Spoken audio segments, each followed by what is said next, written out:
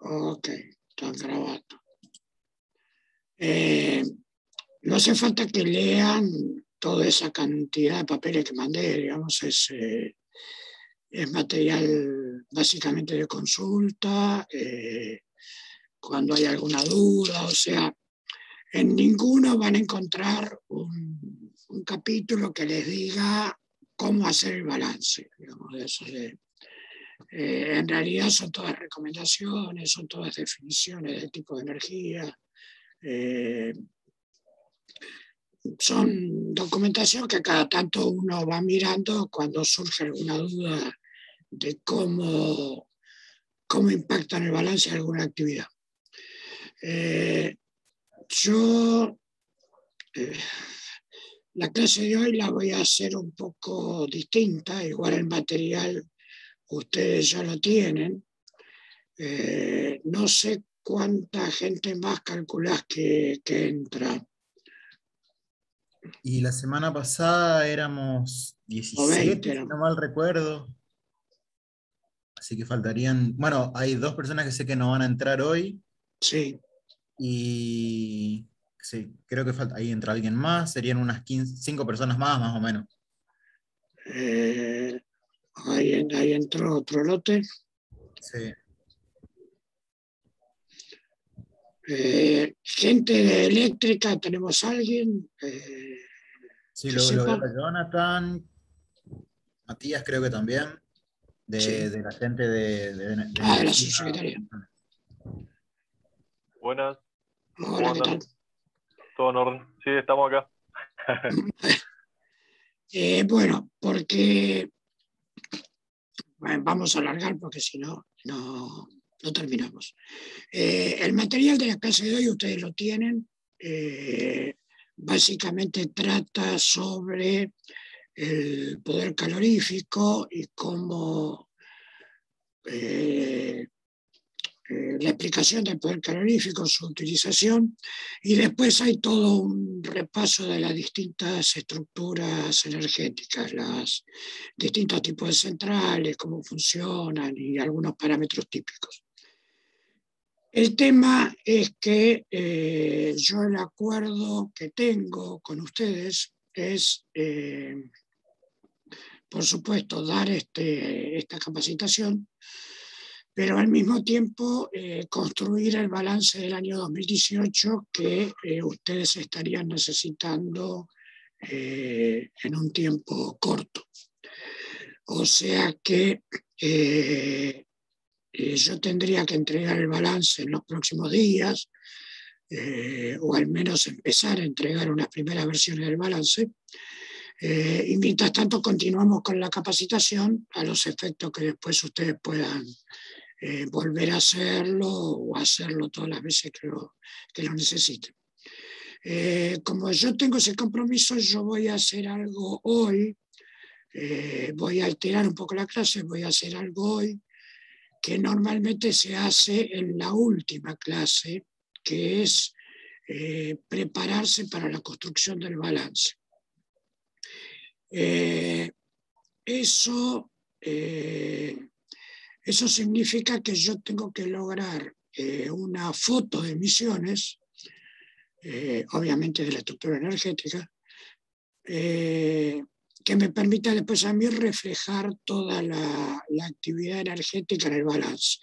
Yo lo que voy a mostrarles ahora y después se lo voy a, se lo voy a compartir eh, a todos, salvo que me den alguna, alguna indicación en contrario, eh, toda la información que les voy a mostrar es toda información pública, no hay nada, nada confidencial, no hay nada raro. Eh, pero yo les voy a mostrar lo que yo entiendo que es misiones y lo que les voy a pedir a ustedes es que en los próximos días, en cuanto puedan, eh, si notan que algo falta, sobra o está mal, me lo hagan saber.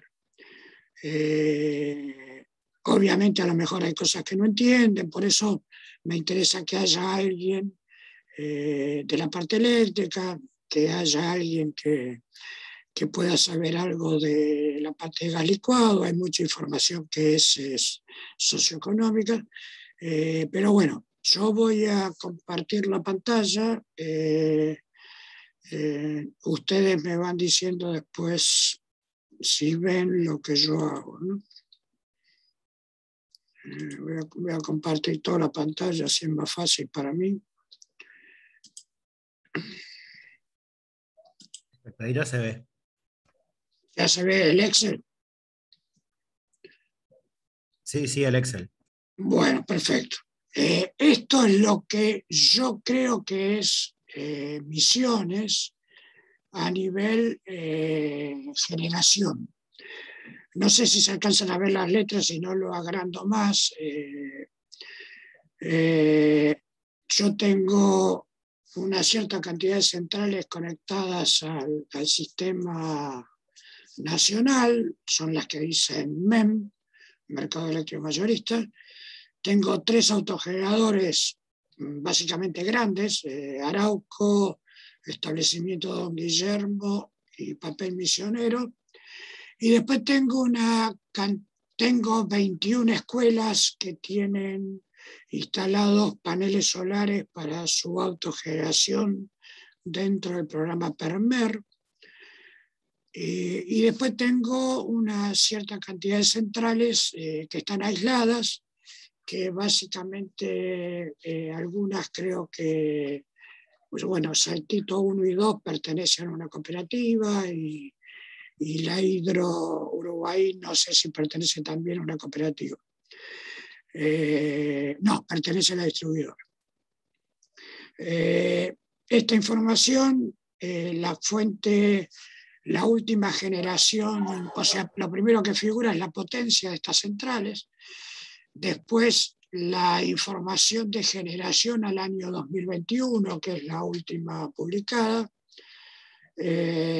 después la última generación que, tenemos, que tenemos informada en la Secretaría del año 2015, eh, la última autogeneración que tenemos informada al año 2016 y después, eh, después hay valores que como no tengo nada informado, eh, hay valores que están estimados por, en el caso de una diésel Andresito, en el caso de eh, la tablada y Oberá. Oberá me parece raro que no esté informada la generación.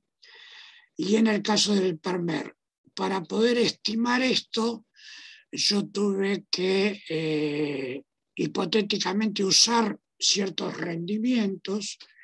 Le puse un rendimiento de 15, ah, de 15 a la diésel y de 30% a las turbogas y un factor de uso que va entre las 7.000 horas, 3.000 horas a 4.000 horas.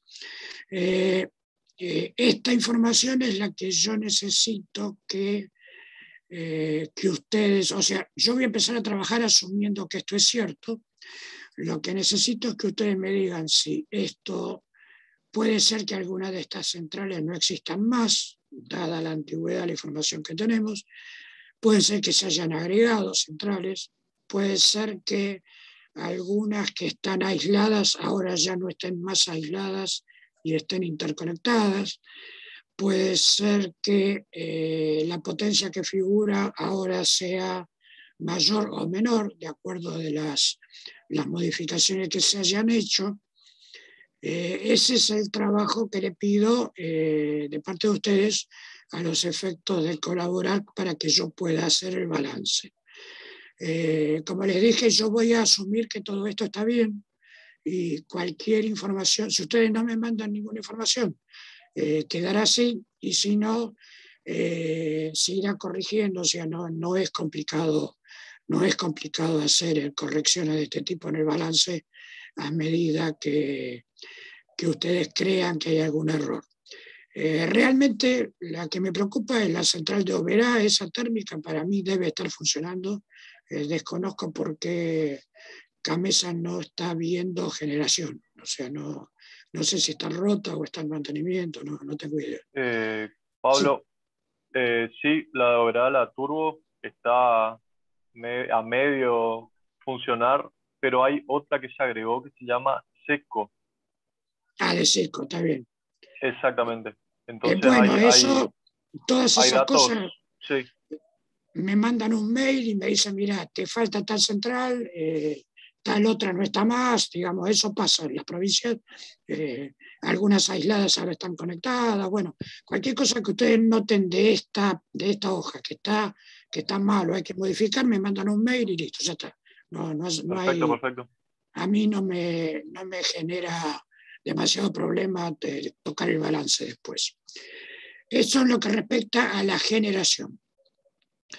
En lo que respecta a la demanda, yo tengo información oficial de la, de la distribuidora del año 2017, 18, 19, separada por los distintos tipos de usuarios que normalmente se le pide a los entes que informen, eh, usuarios residenciales, comerciales, oficiales, el alumbrado público, industria, la parte de sanitarios corresponde a aguas y después, bueno, tracción, eh, en el caso que ustedes tuvieran algún ferrocarril eléctrico, rural es la parte obviamente de, los establecimientos rurales, riego si es que existe algo, eh, algo oficial de, de demanda de energía eléctrica exclusiva de riego, y después hay una clasificación de otros que las provincias lo usan eh, indistintamente para, para clasificar usuarios. Yo tengo conocimiento y tengo la información que ustedes ven acá, que es oficial, de electricidad de emisiones de la cooperativa 2 de Mayo y de la cooperativa Oberá. Si no recuerdo mal, la semana pasada me dijeron que ustedes tenían, no recuerdo si eran siete o nueve cooperativas. O sea que me estarían faltando cooperativas, eh, en teoría. Eh, eso si, si ustedes... Sí, son, son nueve. Son nueve, bueno, me faltan siete. Yo esas siete eh, necesitaría, aunque sea, si no me pueden dar esta información como está acá, que a lo mejor no la tienen o, o la tienen que pedir o les cuesta mucho, aunque sea, denme el nombre, eh, la dirección y un correo o un teléfono, digamos, de manera tal que si existe inclusive un, un, referente con quien hablar, sería mejor todavía. Así nosotros podemos mandar a pedir oficialmente la, la información. O sea, eso sería también algo que les pido eh, como favor. Eh, a lo mejor no tienen mucho peso dentro de, de toda la demanda, ¿no? O sea, a lo mejor son cooperativas chicas, eh, pero bueno, eh, la idea es tratar de poner todo lo que se pueda eh, de la mejor manera posible. Con respecto a los grandes usuarios, esto sale de Camesa, tenemos la información, por supuesto, y el 97% teóricamente es usuario industrial y en realidad el único usuario que figura es Alto Paraná, que mi duda es si Alto Paraná no es lo que ahora es Arauco. Eh, no sé si es un cambio de nombre de la empresa. No sé a nivel de aserraderos y papeleras grandes eh, si Arauco es una y Alto Paraná es otra. Eh, me suena como que Alto Paraná se vendió y que ahora en realidad se llama Arauco pero eso, eso realmente no, no, no sé, eso necesito eh, verificarlo también, ¿no? porque si no me estaría faltando Alta Paraná como, como usuario eh, generador, ¿no? porque es muy probable que sea autogenerador. sí, eh, lo que es Arauco era antes Alto Paraná. Ah, está bien. Entonces está confirmado que, yo ya lo dejo, así ya me, me queda, me queda guardado. Eh, la información que tenemos, 17, 18, 19 y 20, básicamente eh, la demanda se mantiene constante, como, como, como tiene que pasar en todo el país, o sea, no hay grandes cambios de demanda. Las variaciones están siempre en el orden de menos del 5%. En las cooperativas hay, una, hay un cambio grande, lo que pasa que en 2020 me falta Oberá, que es la que más eh, demanda tiene, por eso, por eso se cae de golpe acá la serie estadística. Y los grandes usuarios están más o menos parejos también, o sea que todo esto parece estar normal, eh, salvo, bueno, estas siete cooperativas que faltan, que no sé, no sé el peso que van a terminar teniendo dentro de, la demanda total. La cooperativa del Dorado también es, eh, tiene una demanda importante. Ah, bueno. Bueno, por eso, esa información es, la que necesito, digamos, ¿no? Porque al no existir, eso lo vamos a ver después en, la que sería la tercera clase la semana que viene, eh, al no existir un marco legal, eh, las cooperativas, las distribuidoras, los autogeneradores no están obligados a informarle a la Secretaría de Energía de la Nación que eh, comienzan a funcionar. Tampoco a los entes reguladores, por lo menos en principio. Eh, lo que sucede acá, Pablo, también es que eh, muchas veces los datos que tiene electricidad de emisiones, EMSA, la distribuidora, eh, contempla datos de las cooperativas porque ellas le informan mensualmente a EMSA y EMSA informa a Nación. Entonces también hay que tener cuidado de eso por ahí al contabilizar. Para no hacer un doble conteo, claro. Eh, bueno, eso entonces habría que, si pueden confirmarme, eh, que si las cooperativas ya las tienen incorporada a EMSA, eh, no hay problema, o sea, porque yo tomo los datos de EMSA y listo. Eh, eso, eso necesitaría que me confirmen, aunque sea con dos líneas en el mail, a ver si nos preocupamos o no nos preocupamos por las cooperativas que faltan. eso, esa situación que estás describiendo pasa en, en varias provincias. Por eso también a veces se complica, a veces complica saber la demanda real, porque hay dobles conteos o ese tipo de cosas. Bueno, eh, este sector que sigue, este es complejo porque es la parte agropecuaria. Como yo les dije, en el balance nacional no hay demasiado problema porque uno, toda la energía que, que digamos que no se usa en centrales o no o no es exportada, uno sabe que fue a consumo. Entonces, a lo sumo, lo que hay que determinar es en qué, sector fue a consumo y nada más. En el balance provincial esto, esto no es así y por otra parte es precisamente la parte más complicada que tiene el balance provincial porque hay que ir eh, desde abajo para arriba, o sea, hay que ver las unidades de las distintas unidades de negocio cuál es el consumo que tiene para conformar el consumo total de la provincia y ver cuánta energía tiene y cuánta trajo de otra provincia. Eh, por eso hay que, en el sector agropecuario principalmente, eh, ahí lo que yo tengo datos oficiales del censo 2018, eh, tenemos unas 180.000 cabezas de vaca, de las cuales eh, habría una invernada oficial de unas 22.000. Eh, esto significa que son vacas que son nada más que para frigorífico. ¿Pasó? Eh, no sé si es una pregunta o un comentario. No, bueno. el tema es, la invernada normalmente se realiza en el país en feedlots que tiene que tiene consumo de electricidad, gasoil y llegado el caso gas o GLP, eh, normalmente en el, en el, país, o sea, el promedio país es que la mitad de la faena eh, se engorda en feedlot. Acá no sé, eh, habría que ver, si no consigo ninguna información, voy a asumir que el 50% está engordado bajo techo eh, por lo que estuve leyendo en Rosamonte, Rosamonte dice tener feedlot propio para hacer su propia faena, dice tener su propio frigorífico y aparte dice tener plantaciones de caña de azúcar, que eso me interesa por el tema del biotanol, pero aparentemente no estarían destilando. O sea que la probabilidad de que haya fildot para engorde eh, existe. el tema va a ser nada más ponernos de acuerdo cuál es el coeficiente. Yo en principio usaría el 50% y después vemos si hay que ajustarlo o no hay que ajustarlo.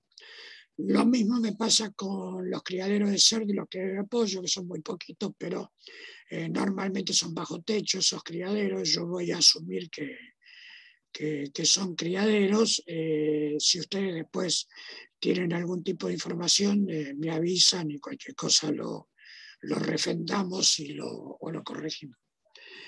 de la parte de plantaciones, los únicos cereales que tengo en la provincia es eh, arroz y maíz, eh, el maíz con siembra convencional y siembra directa. Tengo maní y un poco de soja, muy poca soja, pero bueno, un poquito. Y después básicamente lo más fuerte de la provincia, yerba mate, té y tabaco. Eh, en esos casos, eh, en los casos de cereales y oleaginosas, eh, a nosotros nos importan por los consumos de gasoil durante la siembra y la cosecha. Eso, por eso lo, los ponemos. Eso yo ya lo tengo todo tabulado, incluso está publicado en la web de la Secretaría eh, cuál, es, qué cantidad de litros de gasoil hace falta para una hectárea de arroz, una hectárea de maíz, una hectárea de maní, digamos. Todos esos números están, eh, son relativamente conocidos. O sea que a partir de la existencia de las hectáreas eh, se pueden estimar. Por supuesto, no, dejamos, no dejan de ser estimaciones, porque no, no son mediciones reales o no es que el campo nos dice eh, anualmente cuánto gasoil gastó. Es lo que nosotros estimamos, a lo mejor lo hicieron, sembraron a mano en vez de sembrar con, con una máquina, entonces no hubo gasto de gasoil. En el caso de industriales, eh, no es, eh, los gastos de energía no son representativos en la parte de la, de la siembra o de la cosecha, a pesar de que hay cosechadoras automáticas, o sea, máquinas que cosechan automáticamente hierba, té o tabaco, no hace falta que sea mano, sino acá lo, lo que tiene peso energético es la, el secado de las hojas. Eso eh, normalmente se realiza en, las provincias, digamos, en la competencia de ustedes, que Salta, se realiza con gas natural, eh, en otras provincias eh, se realiza con gasoil directamente, son secaderos a gasoil o fueloil. Y tengo entendido que eh, en Misiones se está, también en Corrientes, se están utilizando secaderos alimentados por pellets de madera. Eso me parece coherente teniendo la zona, todos los los aserraderos más importantes, igual que Entre Ríos. Eh, pero bueno, yo voy a asumir que, se está trabajando, se está, se está quemando residuos de madera o peles de madera. Lo que están en duda son las, las producciones, porque de acuerdo al sitio oficial de Yerba Mate Argentina, que es la, la página que nuclea a todos los yerbateros, eh, la producción en kilos, se, habrían producido unos 268 millones de toneladas de hierba, pero por otro lado el Instituto, el IPEC, o sea, el Instituto de Estadística de Emisiones, me habla de unas 800 millones de toneladas, pero me incluye en la medición corriente junto con emisiones, entonces no sé cuánto es la parte de corrientes y cuánto es la parte de emisiones. Por eso eh, tengo en duda ahí la, la cifra. Eh, después, cuando todo esto se pase a gasoil o, en este caso a kilocalorías, veremos también qué importancia tiene, o sea, si pesa mucho en el balance o no. Pero en principio yo respetaría la de Yerba Mate Argentina porque es, digamos, es el sitio nacional. ¿no? de cualquier manera, bueno, la información está en las dos. yo pude bajar toda la información del Instituto de Estadística de, de Misiones. En el caso del té voy a respetar lo que dice Misiones porque no conseguí otra información. Y en el caso del tabaco voy a respetar lo que dice el Ministerio de Agricultura, Ganadería y Pesca porque no conseguí otra información, eh, al menos hasta ahora. Eh, acá vale lo mismo que venimos hablando al principio. Cualquier información que tengan ustedes que, que contradiga o que mejore esto que yo estoy poniendo, eh, me la mandan por mail y lo agregamos. En el caso de eh, hortalizas y forrajeras, eh, las forrajeras son las eh, sorgo, todo lo que se utiliza después para alimentos de ganado. son muy pocas hectáreas, acá no hay gastos importantes de energía, pero bueno, figuran en el censo como que, que ustedes, que la provincia tiene producción. El caso de los frutales, igual que el caso de la hierba, no pesa tanto eh, los gastos de energía en, siembra y cosecha, sino que acá lo que pesa es eh, los sistemas anti-heladas. o sea, cómo prevenir que no se queme la planta en, los días en temperaturas eh, sumamente bajas, que pueden llegar a congelar el agua de rocío y, y la queman. Para eso hay un, hay un sitio oficial que se encarga de, de todas las estaciones meteorológicas, agrometeorológicas que tiene el país. En el caso de Misiones creo que son cinco las que hay. Eh, recuerdo que hay una que está en Iguazú y, y las otras cuatro están en la zona de, de Posada y de Eh, y de acuerdo a lo que estuve leyendo, eh, la provincia tiene entre dos y cuatro días de heladas al año, históricamente. Entonces estoy, voy a tomar tres heladas al año. Eh, una helada implica que durante cuatro horas funcionen los sistemas de calefacción, que esos pueden ser nuevamente eh, molinos, pueden ser eh, quema de combustible, o puede ser riego, puede ser regar las plantas con agua en forma automática. Eh, después veremos eh, qué sistema eh, le aplicamos a, las heladas. acá donde dice la hectáreas de naranja, en realidad incluye mandarina, que es la, mayor producción de la provincia, ¿no? o sea, tienen, tienen más producción de mandarina que de naranja. con respecto a los riegos, eh, esta es información que no está publicada, pero eh, no es confidencial. Esto es un pedido que yo le hice, o sea, el INDEC publica por separado el tipo de riego que usa cada provincia, o en realidad cada, eh, cada radio censal, ¿no? o sea, cada, cada establecimiento productivo del campo, qué tipo de riego usa para lo que está produciendo. Eh, ustedes tienen unas 45 hectáreas con riego por aspersión y unas 207 hectáreas por riego por goteo.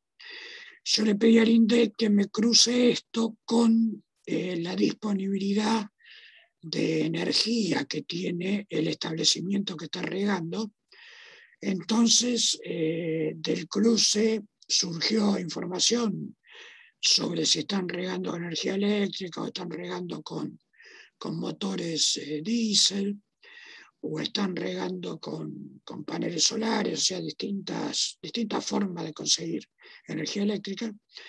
Eh, y también quedó un, sector residual donde el INDEC no pudo discriminar eh, la respuesta, ¿no? O sea, el, famoso no sabe, no contesta, eh, donde quedó la bolsa.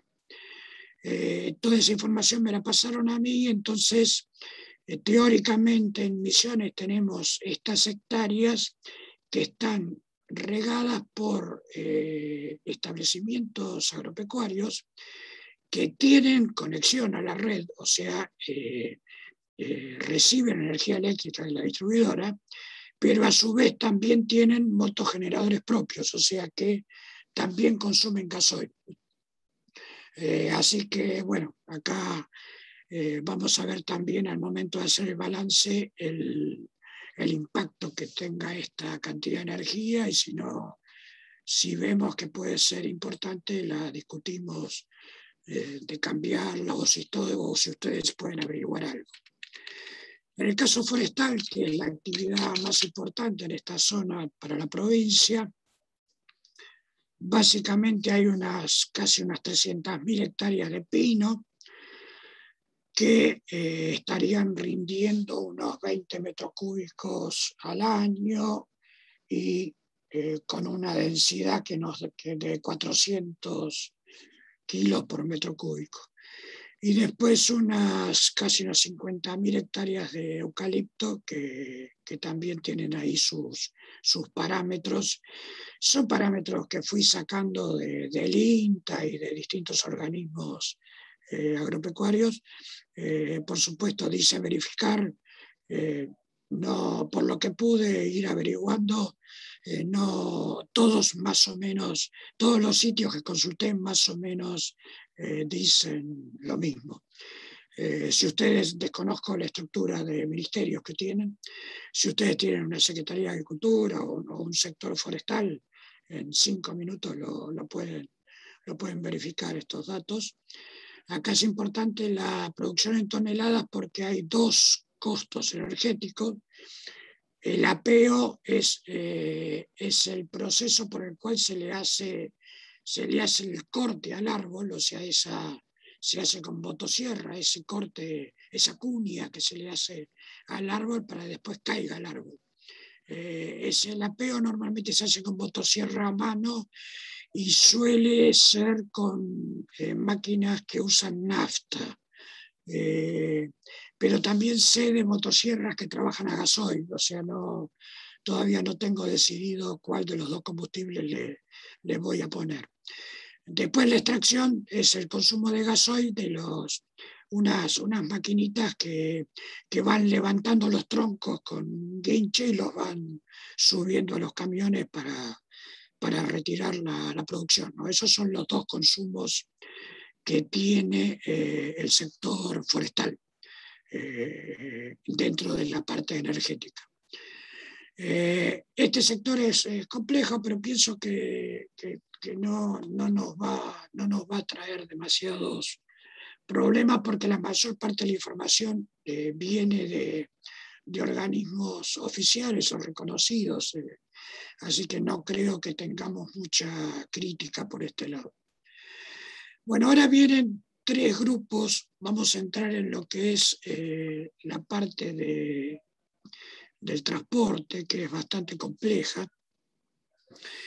Eh, estas primeras tres eh, pantallas, acá ustedes no tienen nada que verificar porque es toda información entregada por las mismas petroleras. A mí las petroleras me dicen, esto que dice venta refinería, es lo que las petroleras me dicen que le vendieron a Misiones. Concretamente dice, yo a Misiones le vendí tantos metros cúbicos de aeroquerosén, tantos metros cúbicos de nafta, tantas toneladas de asfalto. ¿Y, y para qué sector se las vendió? Para eh, transporte aéreo nacional, internacional, a empresas, a petroquímicas. Esto de petroquímica me suena raro porque no, no conozco petroquímicas en Misiones, no sé si habrá alguna esto puede llegar a ser una confusión de, la actividad de una empresa. Eh, al, agro en particular, o sea, cuánto, cuánto gasoil le vendieron al agro. Cuando dice al público se refiere a que lo entregaron a estaciones de servicio, digamos, porque eh, que son las que después se encargan de eh, venderse al público. Después tenemos gasoil entregado a transporte de carga, a transporte de pasajeros, esto es colectivos. A centrales eléctricas, esto, esto, este dato no, yo nunca lo uso porque para eso usamos, usamos Camesa directamente. lo mismo pasa con el gasoil grado 3, con grasas, que no sé, bueno, son todos tipos de energía que después van al balance. La nafta común de los autos, la nafta ya más refinada, y bueno, y un poco de propano. Sobre el propano, eh, van a, ahí sí van a tener que averiguar porque en todos lados vi que existen en misiones eh, redes de propano líquido para eh, abastecimiento de gas residencial. incluso en el censo 2010 figuran, después lo vamos a ver, pero creo que eran 1.500 o 1.700 hogares que tienen gas distribuido por redes que en realidad son Zeppelin de propano líquido. ¿no? Lo que pasa es que el usuario no sabe si lo que le llega. Digamos, eh, eso sí necesito la confirmación porque eso es importante al momento de calcular el consumo de GLP. Pero igual ahora lo vamos a volver a ver dentro de un ratito. Pablo, sí, hay un, hay un barrio. ¿Hay un barrio? Hay un barrio en Posadas, y Azul se llama, y ellos son los únicos en toda la provincia que tienen eh, eh, digamos que gas con distribución residencial. Claro. Bueno, eso lo, después pasame el dato.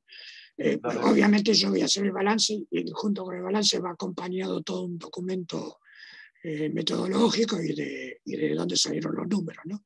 Eh, así que bueno, así yo lo puedo poner en el, en el, documento de que esos hogares están abastecidos por una red de propano líquido en, en, tal lugar, nada más. O sea, no hace falta dar demasiada, no hace falta revelar demasiada información, digamos. ¿no? Eh, pero ya eso se descuenta de la cantidad de hogares que son teóricos consumidores de garrafa, digamos porque ya se sabe que esos no tienen problema de, gas, digamos. Eh, así que esa información sí, pásamela. Eh, después de la venta de refinería, el canal que sigue son eh, estaciones de servicio o grandes distribuidores mayoristas. O sea, esta no es la estación de servicio común donde vamos nosotros a cargar nafta, sino que son distribuidores o son lo que se llama tanques en altura, o sea, son, son grandes mayoristas que compran a refinería y después eh, eh, distribuyen a, grandes empresas o es normal que las empresas de transporte, por ejemplo, tengan su propio tanque adentro de, de la terminal, digamos, entonces se compran por mayor el, combustible y después cargan los colectivos ahí adentro. ¿no? Eh, lo mismo que antes, figuran eh, una cierta cantidad de, en la parte de aviones, esto no hay problema. Va, sí hay problema porque vamos a tener que trabajar un poco acá, pero en principio está dividido en, en aviones eh, de recorrido nacional o internacional eh, eh, yo no sé, eso creo que lo deben saber, eh, si el aeropuerto de Iguazú o el aeropuerto de Posadas son internacionales, o sea, o se tienen categoría de aeropuerto internacional. Eso, eso hay que saberlo. Sí, el de, el de Iguazú es de categoría internacional y el de Posadas de nacional. Solo que en estos momentos el de Iguazú cumple ambas funciones porque el de Posada está en remodelación. Claro. Bueno, entonces eso, eso nos permite direccionar consumos, porque los consumos en aeropuertos internacionales dentro del balance va en otra parte del balance. No, eso no es un consumo de transporte. Eh, depende de la bandera del avión, o sea, bueno, esto es un tema que lo vamos a ver más adelante.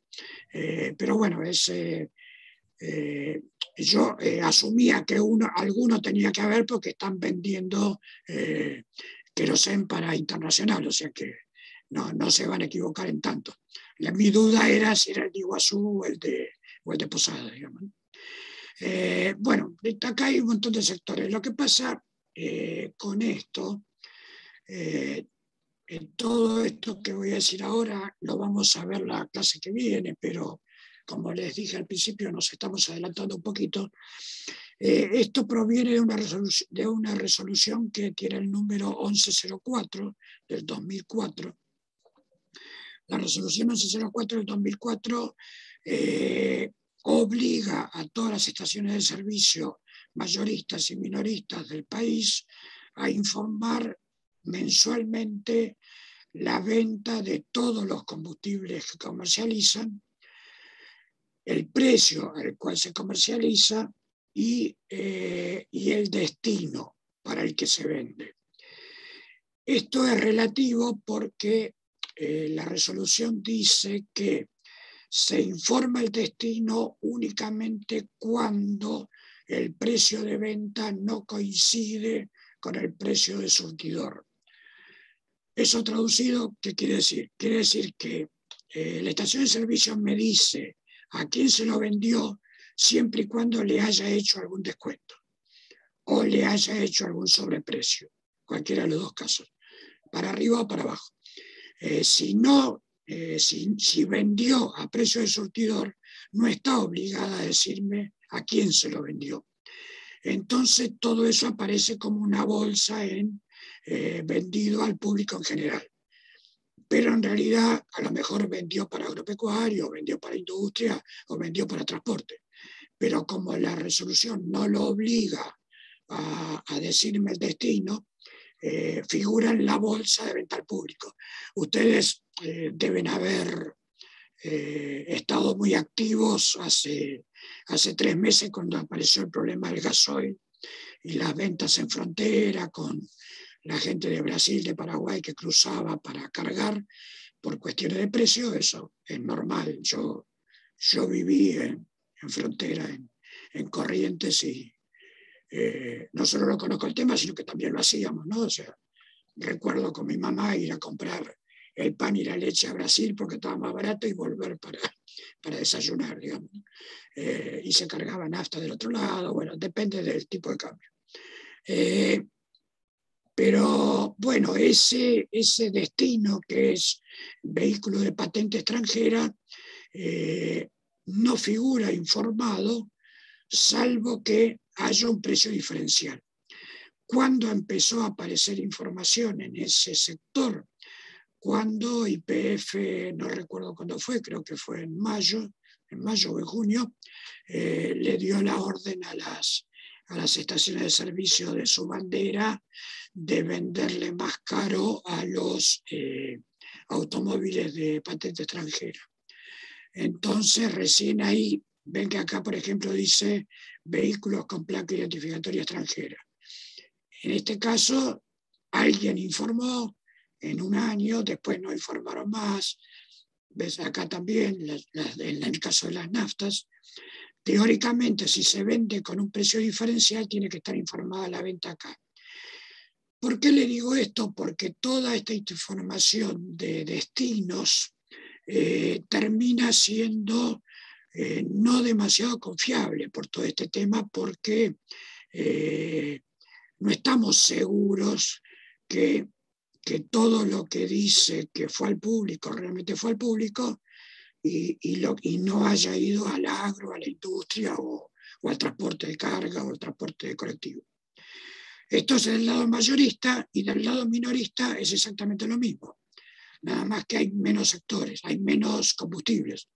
Eh, únicamente hay nafta y gasoil porque, porque los otros combustibles no se venden al público, o no, no se puede comprar fuel oil en una estación de servicio o queroseno. ¿no? Lo queroseno, queroseno. Eh, entonces, esta es la misma, eh, esta es la misma información que, que vimos antes, nada más que en este caso, estas sí son las estaciones de servicio a donde vamos a cargar nafta nosotros. Por eso funciona el público, que es el volumen más grande, 128 millones de litros al año, 130, 140 millones de litros al año. Estos son valores normales de venta. Lo que pasa que nada nos asegura que esto sea todo al público, sino que puede haber ido al agro o a la industria o a vehículos con, con placa extranjera. Eh, toda esta discusión, todo este problema lo vamos a resolver cuando tengamos alguna idea del, del consumo de combustible de la provincia eh, cuando hagamos las cuentas, saber cuánto necesita la parte agrícola para, para funcionar y vamos a cruzarla con toda esta para ver cuánto nos queda y, cómo se distribuye toda esta información. Todo esto que le estoy contando, como le dije, en realidad no se hace en este momento, se hace en, la última clase, cuando ustedes ya saben, cuando tienen bien claro todo este, todo este juego de informaciones y saben bien de qué estamos hablando. Pero eh, lamentablemente todos los balances provinciales empiezan así. O sea, este es el problema grande del balance provincial. O sea, eh, eh, técnicamente en la práctica el balance nacional, el provincial, son sumas y restas, no hay mayor problema. El problema es que en el provincial hay que conseguir la información a nivel unitario. En cambio, en el balance nacional no hace falta. Por eso el balance provincial es tan difícil de hacer, por eso tampoco no hay metodologías escritas de balances provinciales. Y por eso, bueno, estamos haciendo todas estas capacitaciones a ver si logramos, eh, igual que otros países, Uruguay está haciendo lo mismo, eh, a ver si logramos empezar a trabajar con los balances provinciales porque son de muchísima utilidad para el, diseño de la política pública. Eh, ahora son cerca de las tres, nos va a quedar una media hora más o menos después para, empezar con la presentación. Eh, ahora yo voy a entrar en, en, dos temas que son conflictivos. Eh, el sector de transporte se divide en transporte eh, terrestre, acuático y aéreo. El sector aéreo eh, tiene nacional o internacional, es fácil. El sector acuático eh, tiene cabotaje y marítimo. ustedes no creo que tengan marítimo, o sea, no creo que tengan ¿cómo se llama? buques de gran calado, digamos, ¿no? los internacionales.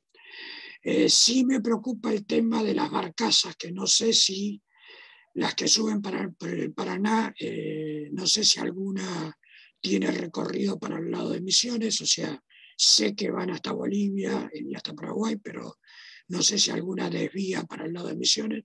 Igual no puede pasar ya Estado, o sea que no, no, no sé, no creo que haya problemas por ese lado con el, con el transporte. Y el Uruguay no tiene, no tiene transporte acuático de gran tamaño. Eh, el, el, problema viene con el transporte terrestre, porque el transporte terrestre tenemos los trenes, que a lo sumo eh, existen o no existen, es cuestión de, averiguar y es bastante fácil de averiguar. Eh, los ómnibus que, que, hay que hay que determinar la cantidad de ómnibus que tiene la provincia, los camiones, que también eh, hay que determinar la cantidad de camiones que tiene la provincia, los utilitarios, que son eh, aquellos eh, vehículos, más que nada empiezan las 4x4 y termina en los camiones que cargan hasta 3 toneladas, que son normalmente los camiones que andan repartiendo alimentos o, eh, o mercadería en la ciudad. Y después tenemos los autos comunes. El problema es que para calcular el consumo de un auto, yo necesito saber tres cosas. Necesito saber cuántos autos hay, necesito saber qué eh, consumo específico tienen, o sea, 8 eh, litros cada 100 kilómetros, 10 litros cada 100 kilómetros, o sea, qué, tipo de, eh, qué eficiencia tienen, digamos, en, eh, el automóvil o el motor. Eh, necesito saber si son a o gasoleros o GNC. En el caso de ustedes, GNC no va a haber, en otras provincias sí. Y necesito saber cuántos kilómetros hace por año. Entonces, yo multiplico la cantidad de autos por la cantidad de kilómetros que hace por año, promedio, ¿no? Por la cantidad de litros cada 100 kilómetros que gasta, y eso me va a dar el consumo de combustible de los autos eh, en el año. Y eso es lo que va al balance. El problema es que eh, los autos principalmente, también pasan los camiones y los colectivos, pero principalmente los autos, eh, no suele haber problema para los, el consumo específico que se llama, que es la cantidad de litros cada 100 kilómetros. Actualmente creo que está entre 7 y 9 más o menos, entre 7 litros y 9 litros cada 100 kilómetros. Eh, la cantidad de unidades que hay en la provincia es un problema, pero está bastante controlado, o sea, se puede resolver. El problema lo tenemos en eh, la cantidad de kilómetros que recorre. ¿Por qué? Porque no es lo mismo un auto que, que es el chofer del gobernador de Misiones que el auto que usan ustedes para ir a trabajar o un auto que está trabajando de taxi. Los kilómetros que recorre al año son, pueden ser tremendamente distintos. O sea, puede, podemos ir de 10.000 kilómetros al año a 200.000 kilómetros al año. Eh, eso depende también de la modalidad que tenga el servicio de lo que se llama el transporte público de pasajeros eh, de bajo grado, que es el taxi. Yo no sé si en Misiones los taxis están circulando buscando clientes o tienen paradas eh, identificadas donde esperan al cliente. Eso, eso es fundamental saberlo eh, y lo deben saber seguro. Sí, en Misiones tienen paradas fijas. No tienen paradas, o sea, entonces, Yo me voy, a, me voy a Santiago del Estero y ahí los taxis circulan todo el tiempo y vos tenés que atajarlos para, para adquirir uno y claro, eso, eso, la diferencia en kilometraje es realmente monstruosa. Es monstruosa porque si el taxi está recorriendo la ciudad buscando clientes, está gastando nafta. En cambio, si está parado en la esquina, no hay problema. Eso es importante saberlo, eh, porque ahí ya marca eh, dos tipos de servicio de taxi. Eh, o sea que vamos a tener menos consumo en taxi. Entonces, vamos a necesitar saber eh, cuántos autos tiene el gobernador con sus ministros, cuántos autos son taxis, cuántos autos, yo lo digo así en forma graciosa, que, que no se me enoje la gente del gobierno, eh, eh, se denomina cuánto es la flota oficial. ¿no? porque hay, en el caso de ustedes, no hay organismos nacionales en la provincia. acá en Buenos Aires y en Capital hay tres tipos de organismos, los nacionales, los provinciales y los municipales. En el caso de ustedes va a haber provinciales y municipales, nada más. tenemos que determinar cuántos autos tiene toda esta gente, tenemos que determinar el ejército cuántos autos tiene, eh, la armada, prefectura, policía aeroportuaria y policía de misiones. Ese es el trabajito que tenemos que hacer. Para eso se usa todo un método que que usamos casi todos, que empieza por, eh, eh, no se preocupen que hay, hay documentos escritos sobre esto, y bueno, yo estoy terminando de escribir uno que lo voy a subir en, más o menos a fin de mes. se toma como base eh, la población económicamente activa. La población económicamente activa es un dato que es común a todos los países según el grado de desarrollo y oscila entre el 13 y el 15% de la población económicamente activa trabaja en el Estado. Eh, eso pasa en Estados Unidos, en Alemania, en Francia, en España, en todos los países desarrollados. Y en los, eh, nosotros no somos subdesarrollados, pero digamos que somos en vía de desarrollo, o sea, todavía nos, nos falta un poquito. Eh, la última medición dio el 17,2 de, perdón, de, de 17,2% de la población económicamente activa eh, trabaja en la administración pública. Y dentro de la administración pública, eh, aproximadamente un, un 65% es a nivel provincial y el resto a nivel municipal. A partir de esos datos, de la cantidad de agentes o de empleados que hay en, el, gobierno provincial o en el gobierno municipal, hay coeficientes que se usan para saber cuántos autos eh, sería la, dotación lógica. En el caso de, yo no me los acuerdo ahora de memoria, pero eh, en el caso de los autos del gobierno, eh, si no me equivoco, es cada 300 empleados públicos existe un auto en, en el organismo, digamos.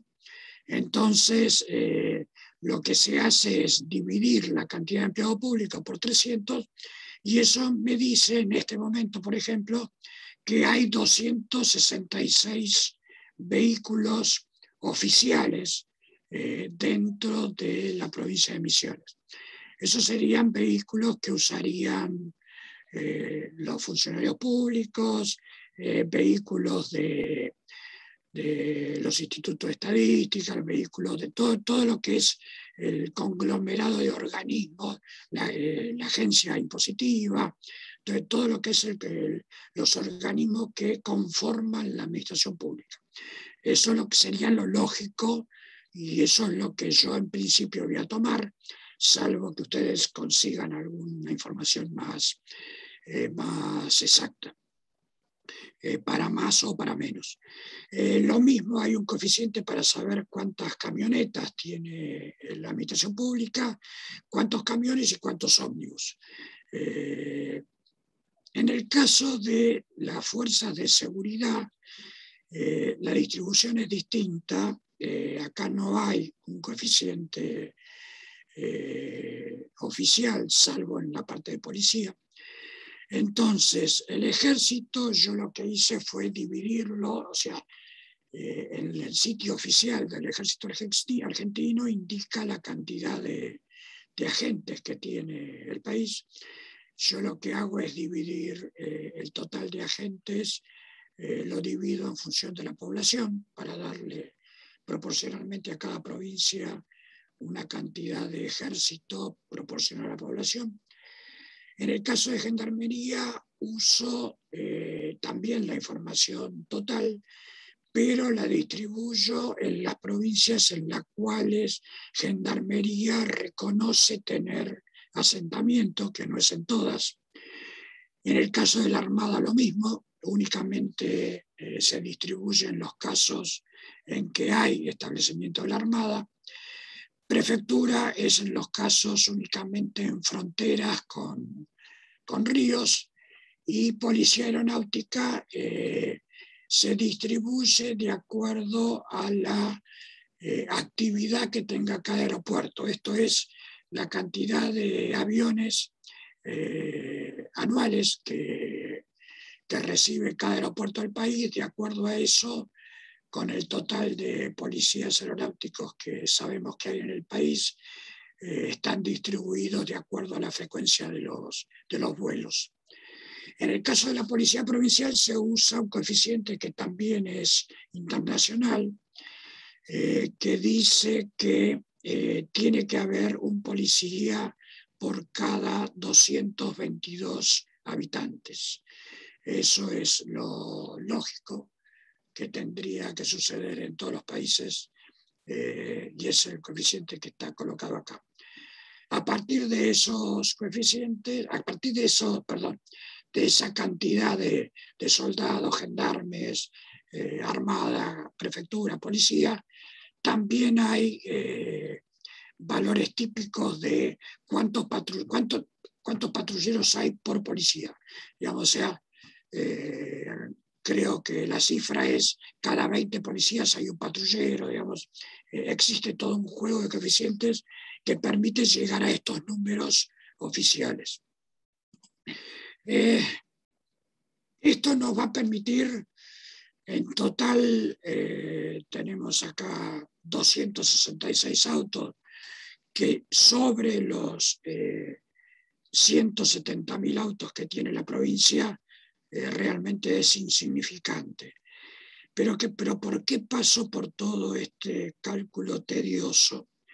Eh, para algo que es un problema típico de los que hacemos balance, es que después no nos llegue la pregunta de por qué no tuvieron en cuenta los autos de, de las gobernaciones o por qué no tuvieron en cuenta los autos de los patrulleros. Entonces, haciendo toda esta cuenta una vez, uno demuestra que ponerlos o no ponerlos, estos autos, no va a alterar eh, los consumos de combustible de toda la provincia. O sea, eh, es un cálculo para después eh, justificar por qué no lo vamos a usar, nada más. En el caso de los taxis hay un estudio muy grande que hizo la Universidad Tecnológica Nacional junto con un, con un un centro de estudio de transporte que se llama C3T, que está en La Plata, donde analizaron la cantidad de taxis y remises por cada mil habitantes en cada provincia. Eh, yo tomé esos valores eh, y los bajé, en el caso de Misiones, un, un 10%, eh, porque es algo que se está dando en todo el país que a partir del año 2019, 2020, con la pandemia, eh, eh, la actividad de taxis y remises tuvo un, golpe muy fuerte porque no se pudo, no se pudo sostener debido a la falta de actividad. Entonces se, calcula que acá en la zona de capital se cayó, y uno lo se da cuenta cuando sale a la calle, cayó más del 50% la cantidad de taxis, en realidad se habla del 60% que se perdió acá en Capital. Eh, en las provincias más, eh, con ciudades eh, grandes, estoy, voy a tomar una disminución del orden del 30% y para las provincias también más chicas un 10%. Esto también depende mucho y ahí ustedes también importa más su opinión eh, cuál es la costumbre provincial del uso del taxi. hay, hay provincias en donde en realidad eh, tienen muy poca actividad o son casos muy especiales. Eh, o por ahí el, taxi o remis que funciona es el que te trae del aeropuerto a la ciudad, pero, pero después dentro de la ciudad no hay, no hay demasiado movimiento o, hay, o la gente usa su propio auto o hay o hay mucho transporte en bicicleta, digamos, eso, cada provincia tiene, tiene sus modalidades, así que ahí lo que puedan aportar eh, es útil. Eh, de cualquier manera, las cuentas están dando 500 taxis, 600, eh, 700 taxis. En toda la provincia no, no es una cifra demasiado de que nos traiga problemas si, si es la, la realidad. Eh, finalmente, falta saber cuántos, eh, cuántos autos en realidad hay en, Misiones. Eh, eso se encarga, hay dos, dos organismos que se encargan de eso. Uno es ADEFA, que es la Asociación de Fábricas de Automotores, que publica todos los años el parque automotor separado en autos, livianos, camiones y ómnibus, que son los, para cada provincia, que son los números que ustedes ven ahí. Eh, 170.000 autos más o menos, 56.000 camionetas, unos 20.000 camiones y 2.000 colectivos. Eh, y después en la el otro organismo que se encarga de esto es la AFAC. AFAC es la Asociación de Fabricantes de Componentes ellos eh, suelen tener, suelen no, ellos tienen mejor información que ADEFA. La información de ADEFA es pública, ahí no hay problema.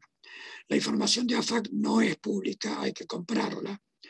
Ellos tienen mejor información de cuál es la cantidad de autos que circulan, porque ellos llevan en tiempo real una base de datos de venta de repuestos. Entonces, si se vendió eh, un foquito para un Fiat 1500 modelo 80 significa que hay un Fiat 1500 modelo 80 dando vuelta por el país.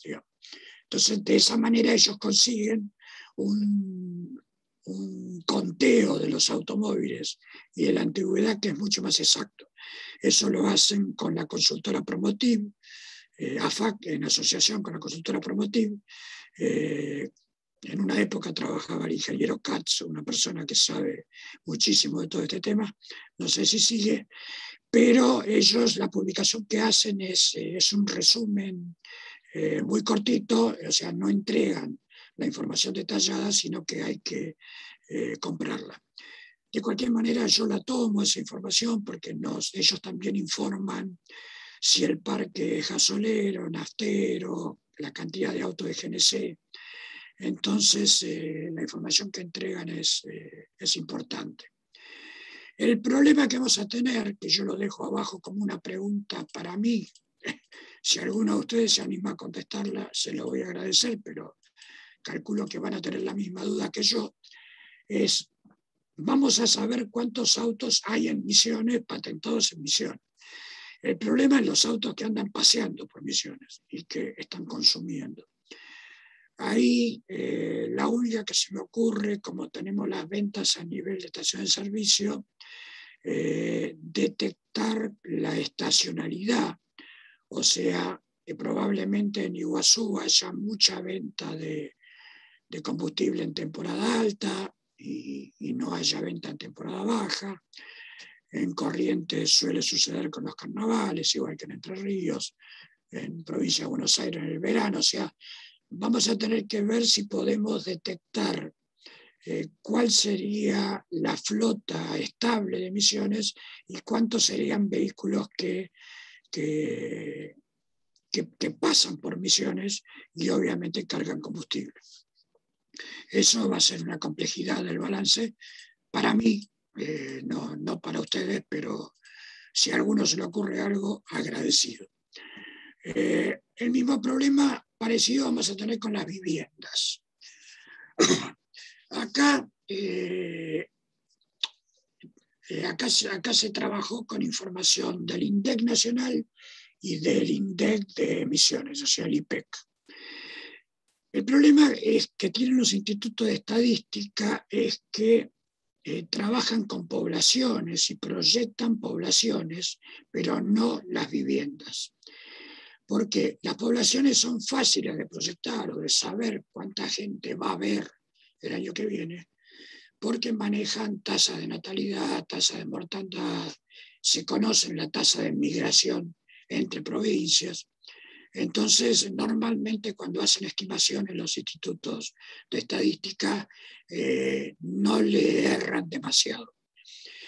El problema que cuando proyectan la cantidad de viviendas es cuando eh, en, el, en año 2010 la proyección tuvo una diferencia de casi el 10%, porque la vivienda no depende de cuestiones eh, genéticas, digamos, de nacimientos y de muertes, sino que tiene, está muy influenciada por costumbres culturales, por ejemplo, el hijo mayor de 20 años que se va a vivir solo, eso genera una nueva vivienda, a pesar de que no hay un nacimiento, o también cuestiones económicas, o sea, no, eh, en este momento eh, y después de todo el problema que tuvimos y los problemas que tenemos, es normal que los hijos vuelvan a la casa de los padres. Entonces, nosotros teníamos más o menos a nivel país un coeficiente de 2,8 habitantes por hogar que venía disminuyendo, eh, calculábamos 2,7 para el censo 2020, eh, pero ahora probablemente esté cerca de 3 o sea, que se haya invertido y esté subiendo, porque eh, las viviendas únicas eh, implican un costo sumamente elevado en alquileres que eh, la situación económica actual es muy probable que no, no permita que lo afronten.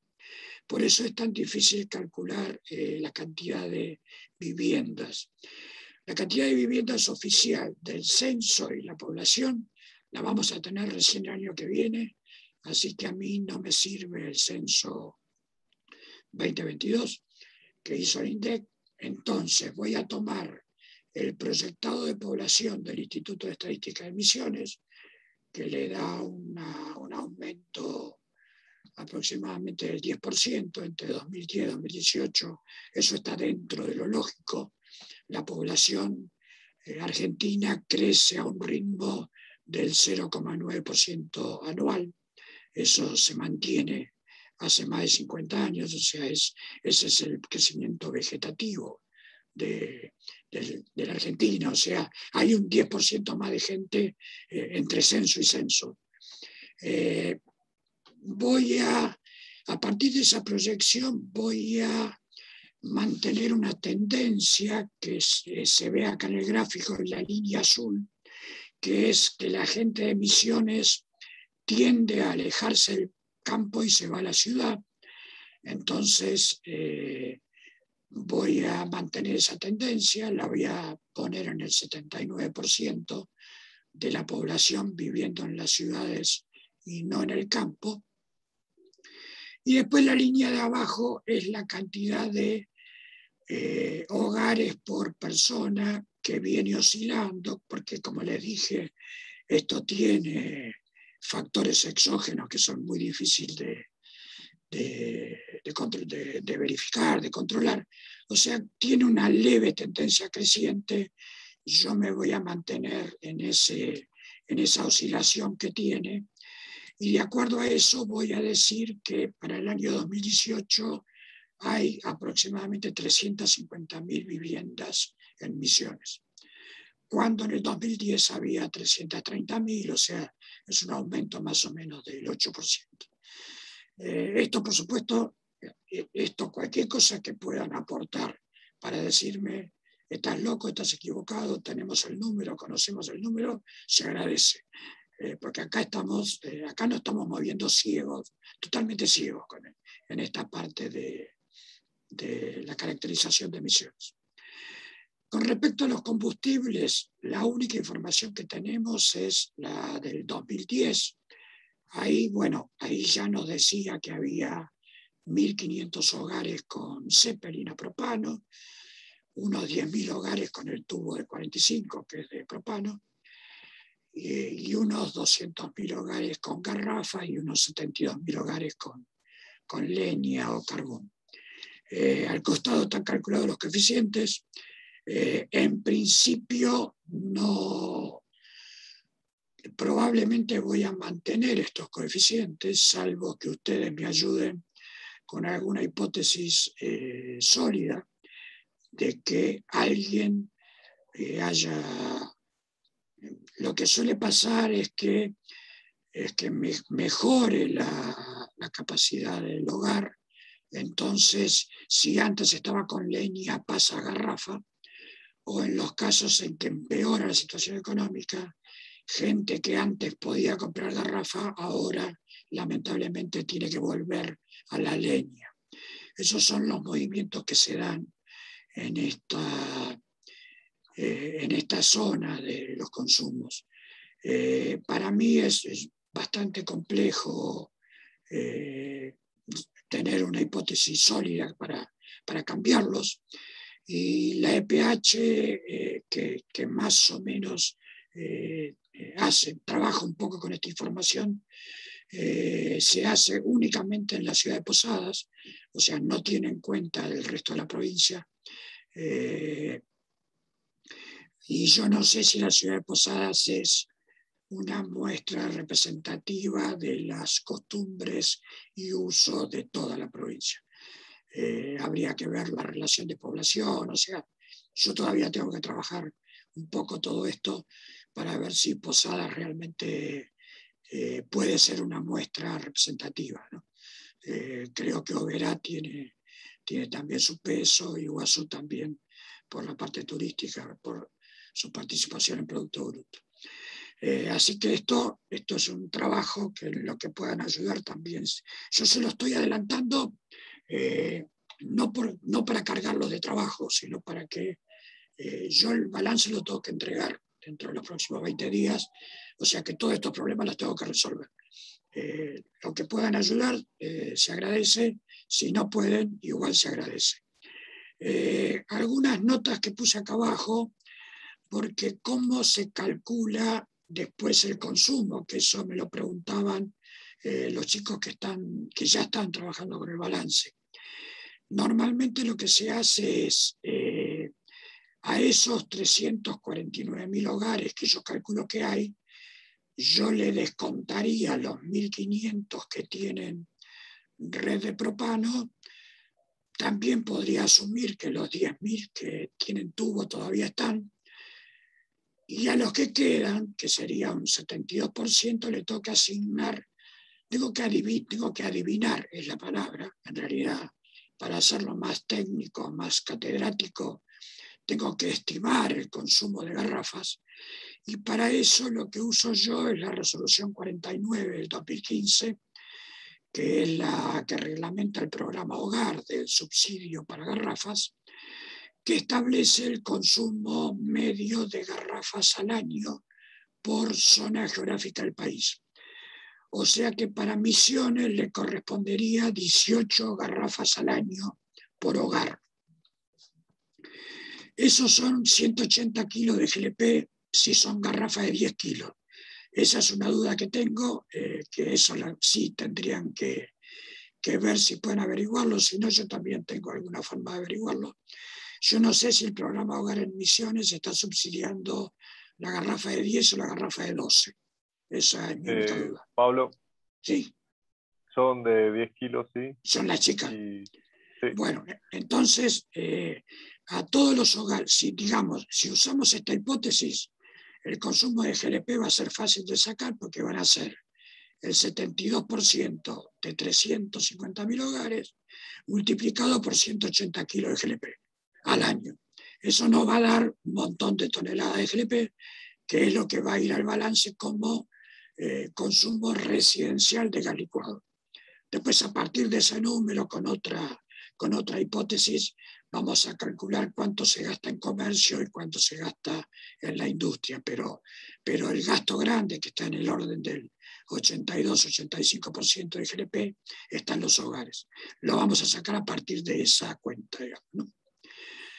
Bueno, eh, eh, terminamos justo, pues son tres y media.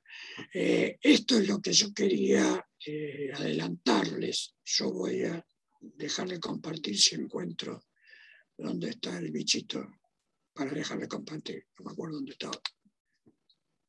Ocultar video, mostrar video.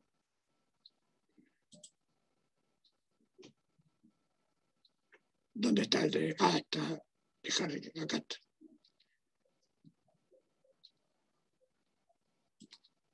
Deja de compartir. Eh, acá volvimos. Eh, esto es lo que yo quería eh, que vean y salvo que ustedes crean que no vale la pena o algo por el estilo, yo pensaba mandárselo a todos, digamos, no, no sé qué opinan, yo pienso que por ahí cada uno dentro de su especialidad y dentro de su, de su área puede ser que pueda aportar un pedacito de todo el, de todo el rompecabezas. Eh, como ven, es bastante complejo, digamos, el, comienzo del balance porque hace falta conseguir esta foto y esta foto a nivel nacional es bastante fácil de hacer, eh, pero a nivel provincial eh, tiene, tiene un montón de, zonas oscuras que, hay que empezar a, trabajar con imaginación o con, o con información secundaria, ¿no? o sea, para, para avanzar. Así que yo sé, si están de acuerdo, yo se lo estaría mandando para, para que ustedes puedan hacer sus aportes. Y, bueno, y yo, yo sigo, por supuesto, mi idea es la semana que viene ya eh, empezar a poner los primeros números en el balance, así que a lo mejor sobre fin de semana yo podría estar enviándoles un previo eh, a ustedes, digamos, para, a los que están. Eh, Sería perfecto que, lo pases a todos. Y, también, sí, sí. Sí, sí, y cuando alguien quiere contestar, también estaría buenísimo si pueden contestar para todos, entonces ya vamos sabiendo también que ella se le comentó a Pablo. Claro, por eso, traten de mantener la cadena, digamos. Eh, Exactamente. en lugar de poner solamente responder, está la opción de responder a todos. Total, es eh, nada más que otro botón, nada más. ¿no? Exactamente. Eh, pero muchas veces uno se asombra de las cosas que sabe, digamos, ¿no? y, que no, y que no se daba cuenta, digamos. Eh, o aparte comentarios que para ustedes a lo mejor son irrelevantes, para mí son importantes, eh, como el hecho, bueno, si los taxis tienen parada o no tienen parada, digamos, esas preguntas dentro de un balance son críticas y, y estoy seguro que a ustedes no, no, se les hubiera ocurrido andar pensando por ese lado eh, el balance. No sé qué quieren hacer. ¿Quieren empezar con la otra? ¿Quieren dejarlo para empezar de cero la próxima? Eh, ¿Qué quieren hacer? Eh, me parece que sería lo mejor empezar, sí, la próxima clase. Ya vamos cerrando el día de hoy. Está bien, yo, no tengo problema porque eh, la ventaja que tenemos es que hay una clase que es la de petróleo y la de gas natural que para ustedes va a ser muy cortita. Entonces ahí tengo, tengo dos días casi de, de backup como para estirarme. Buenísimo, eh, buenísimo. Pero me interesaba compartir esto primero por mi trabajo, o sea, porque bueno, yo tengo el compromiso de hacer el balance eh, y hacerlo a ciegas es, es complejo. Eh, pero, pero bueno, yo estoy por otro lado trabajando toda la parte de transporte, o sea, lo tengo un poco más claro que lo que les mostré. Así que eh, lo que sí me preocupa es no sé cómo vamos a hacer para eh, ver los consumos reales. Va a haber que trabajar con las estaciones de servicio y asumir que esos, que esos son los consumos. Y una información que traté de buscar y que no encontré, eh, no logré caracterizar la provincia industrialmente. O sea, me salta una provincia con un fuerte aporte agropecuario, digamos, más que nada en eh, yerba y tabaco, digamos, eh, o algún un poco de cítricos, eh, una gran producción de madera, aserraderos, eh, tableros para fabricación de muebles, pasta celulosa, pero no me habla de, nada más, o sea, no, no, no encuentro la forma de saber si hay industrias que sean energointensivas, como puede ser fábrica de ladrillos, cerámica, vidrio, o sea, todas esas industrias tienen hornos de altísima temperatura, entonces ahí hay mucho consumo. Si no hay gas, hay mucho consumo de carbón, de madera. Eh, eso lo, no pude saberlo. Sí. Hay, sí, mucho.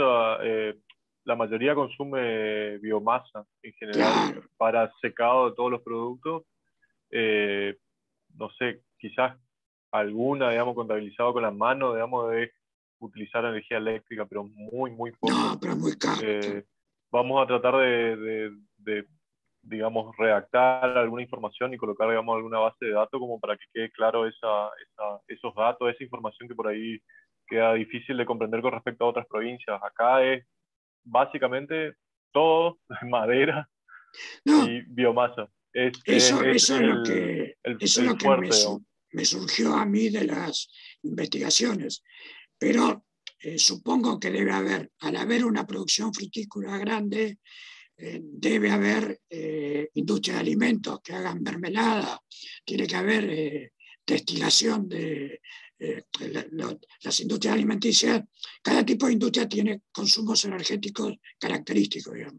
Eh, una, industria de alimentos tiene, tiene que pasteurizar la leche, tiene que, que pasteurizar la, la, fruta. O sea, ahí hay mucho consumo de calor, eh, de calor de baja intensidad, pero mucho. Ahí sí se puede usar electricidad porque Normalmente los, los, hornos trabajan a 30 grados, 40 grados, como un horno de hogar, digamos, porque cocinan básicamente.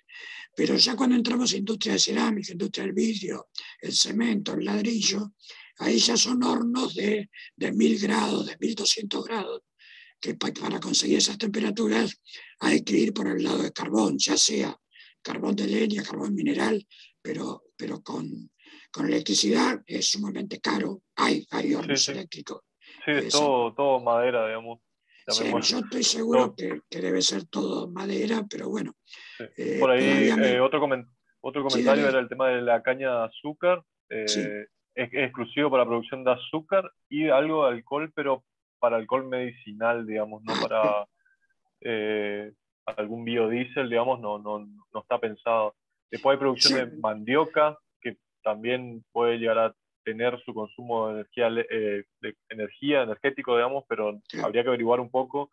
Eh, hay, hay un par de cosas más, digamos, ahí que tendremos que sentarnos a pensar y a, anotar, digamos, para que quede incluido, si no queda poco, poco corto.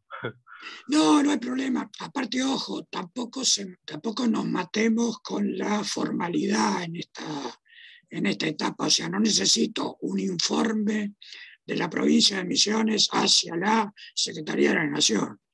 Para mí me alcanza con un mail que me diga, Pablo, eh, fíjate si conseguís algo de mandioca porque acá hay. Listo, con eso, esa es la información que, o sea, no necesitamos ser, eh, digamos, que sea oficial la comunicación. O sea, estamos tratando de, entre todos, reunir la información. Eh, así que tampoco se preocupen si está escrito así, tipo apunte, digamos, no. Eh, lo importante es ir juntando información y después, después yo veo de qué manera, porque hay veces que la información se consigue. Vos me decís, eh, tengo mandioca en la provincia, pero yo después tengo que lograr conseguir eh, cuál es el consumo específico de energía para la producción de mandioca, que hay que ver si la consigo. Por eso, alguna información a veces... Franco, te quería consultar si ustedes se, pusieron en algún momento en contacto con lo que es renta, porque básicamente renta sí es una, llamémoslo, aduana dentro, en el acceso a la provincia de Misiones, y creo que ahí podría haber mucha información. Sí, eh, justamente la semana pasada estuvimos con el, presidente ahí de rentas, eh, le pedimos una cantidad importante de cosas. Eh, entre ellos lo que le pedimos fue el ingreso de garrafas a la provincia, para más o menos tener una idea. Eso sería fundamental. Sí. Eso sería fundamental. Buenísimo, buenísimo, buenísimo. Y después también le, pedimos el, consumo de ceras y lubricantes, pero para usos no energéticos. Eh, Franco, mira, yo soy Teresita. Yo, eh, con respecto a las unidades de vehículo que eh, debido al alto costo de patentamiento acá en el municipio de Posadas, eh, hay gran cantidad que se van a registrar, ya sea San Carlos Corrientes o Aituzangó Corrientes.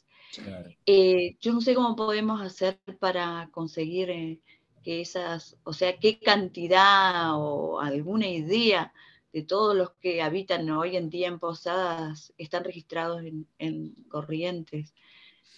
Eh, bueno, eso tendríamos que verlo, a ver cómo lo podemos Se podría tratar de hablar tal vez con la gente de, movilidad de la municipalidad, para lo que es el, por lo menos este municipio, a ver si tienen alguna cifra estimativa. Sí, eh, eso, eso se, da, se da en muchas provincias. Eh, acá en, yo en otro trabajo anterior que tuve, tuve que hacer el, el software para las compañías de seguros y, acá en Capital Federal la gente se iba a patentar a Neuquén, a Río Negro, porque le salía mucho más, mucho más barato que patentar acá en la ciudad, digamos, ¿no? O sea que conozco. Ese tema me preocupa, me preocupa mucho la frontera, eh, porque la frontera nos va a...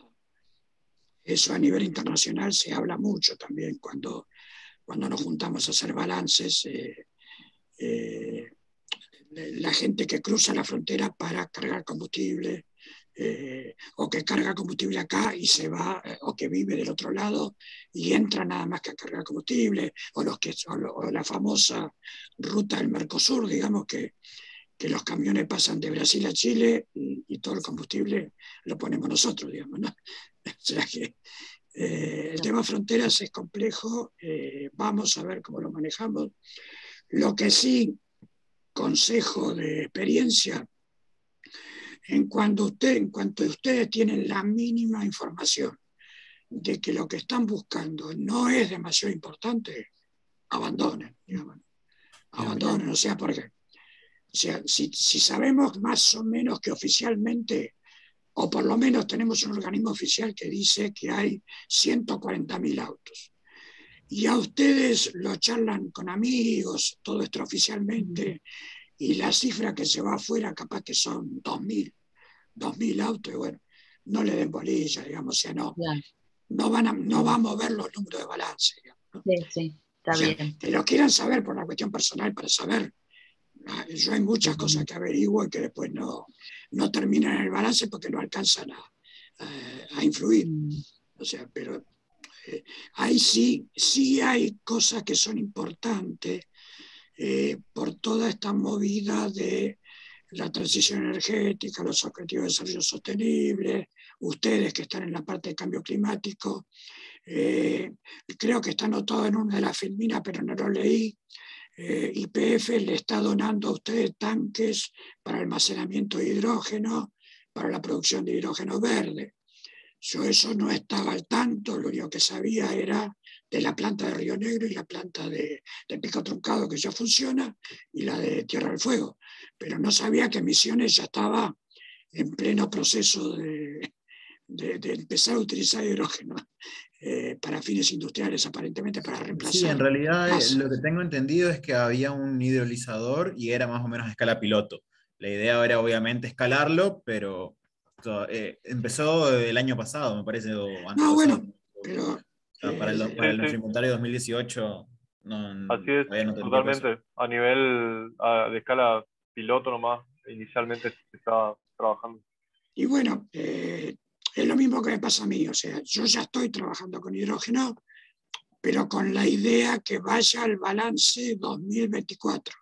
Claro. O sea, si ustedes ya tienen plantas, empiecen a, tenerlas eh, en la mira, digamos, o sea, empiecen a ver que esta gente, bueno, mientras hace la prueba piloto, que les vaya pasando información, cuánto hidrógeno producen por eh, megawatt hora, digamos, o sea, datos que, después son difíciles de conseguir.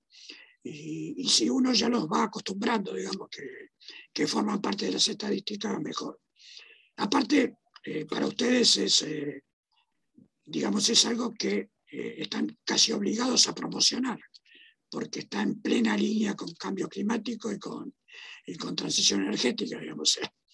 O sea, no, se pueden callar las bocas, por más que sea una planta piloto, O sea, eso eh, son cosas que uno está... Eso, los paneles solares, calefones solares, todo eso, todo lo que se puede averiguar, eso sí hay que capturarlo, aunque después cuando vamos al balance decimos, ¿Y dónde está? Porque, y porque dio 0,1, pero, pero bueno, está.